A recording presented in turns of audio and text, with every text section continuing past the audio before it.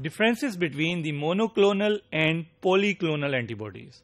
Now, here is a question that what is meant by the monoclonal and polyclonal antibody. So first of all, the monoclonal antibodies.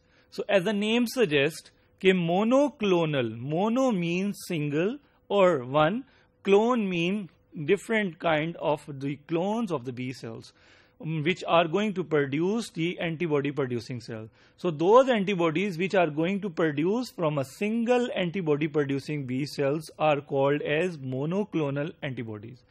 Another important aspect regarding to the monoclonal antibody is based on its binding ability or its uh, affinity. That means that they has to bind with the single and unique epitope. Means अगर एक antigen के ऊपर there are so many epitope epitope one two और three so monoclonal antibody अगर वो epitope one के लिए specific है तो it would bound only with epitope epitope number one but it would not bound with the epitope number two और epitope number three so this this determines this recognizes the specificity of the monoclonal antibody that is very very specific uh, to its corresponding epitope. So mainly these monoclonal antibody they belong to single subtype of the immunoglobulin or IgG. For example, the IgG1, IgG2 and IgG3 they are uh, mainly belongs to uh, monoclonal antibodies. Then in contrast to polyclonal antibodies, uh, monoclonal antibodies, the polyclonal antibodies are being there.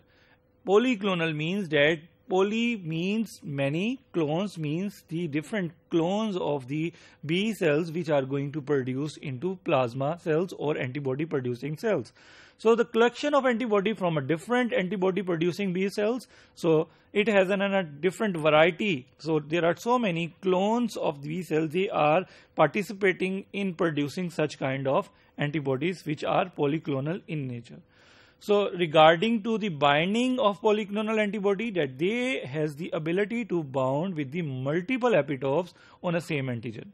Means एक ही antigen के ऊपर अगर बहुत सी epitopes हैं तो these antibodies has the ability to bind with the multiple epitopes so that's why it is called as polyclonal antibody that it has an ability to bound with the so many epitopes but the antigen would remain same that means that it determines the specificity मतलब antigen A के ऊपर अगर one two three epitope हैं तो दे these has the ability to bound it लेकिन अगर antigen B is also be there so it would not be able to bound with the antigen B that's the difference so polyclonal antibody they has the ability to bound with the same antigen but with multiple epitopes so polyclonal antibody it is going to be obtained in serum with antibodies having different affinities means कि जो antibodies की different affinities हैं, उस, उसमें ये antibodies जो polyclonal antibodies हैं they are just going to be obtained in a serum एक सीरम में प्रेजेंट है और एक पूल की फॉर्म में है